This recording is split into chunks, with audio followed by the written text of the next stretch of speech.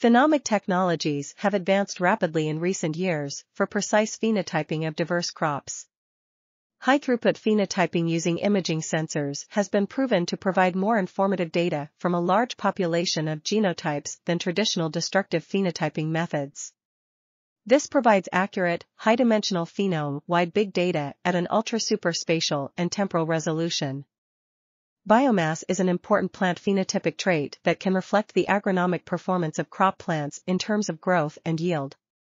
Several image-derived features such as area, projected shoot area, projected shoot area with height constant, estimated biovolume, etc., and machine learning models, single or multivariate analysis, are reported in the literature for use in the non-invasive prediction of biomass in diverse crop plants. However, no studies have reported the best suitable image-derived features for accurate biomass prediction, particularly for fully grown rice plants, 70 DAS. In this study, we analyzed a subset of rice recombinant inbred lines, RILs, which were developed from a cross between rice varieties BVD109X. This article was authored by Allimuthu Elangovan, Nguyen Trung Duc, Dhandapani Raju, and others. We are RTCL.TV, links in the description below.